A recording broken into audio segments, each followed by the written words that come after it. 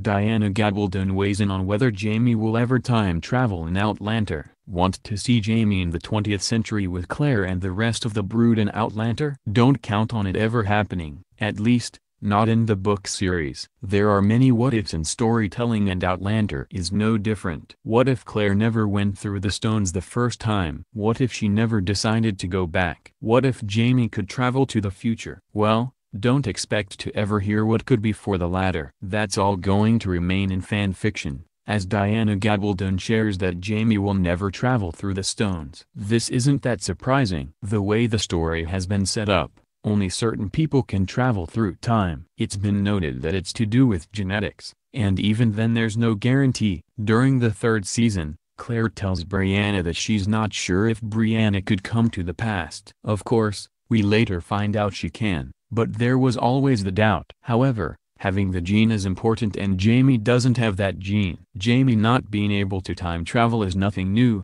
either. Earlier this year, Caitriona Balfe confirmed that Jamie couldn't pass through the stones in Outlander. In the second season, we watched Jamie put his hand on the stone and nothing happened. He didn't hear the buzzing that Claire and others have heard, making it clear that he doesn't have the ability. Now Diana Gabaldon has weighed in to say that Jamie is never going to time travel. Fans have wanted to see it happen but it's all going to have to remain in fan fiction, and there are certainly many versions that see Jamie travel to 1940s Britain and find Claire and Frank. Gabaldon isn't going to change her time traveling rules. Whether the show will change things or not is unknown. Outlander has certainly made some changes to the book's storyline. However, this would be a huge change and something that would likely turn off many fans of the novels who follow the adaptation. Just changing a discussion about Brianna to a discussion about Brianna, Faith, and Willie was enough to annoy some. A change this side would certainly see flocks of fans leave. While it would be fun to see Jamie deal with the 20th century,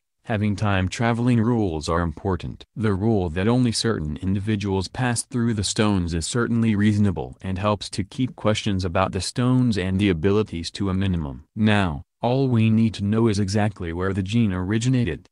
Does Master Raymond have something to do with it? Would you like to see Jamie travel to the future? Do you prefer the rules Diana Gabaldon has set up for Outlander? Share in the comments below.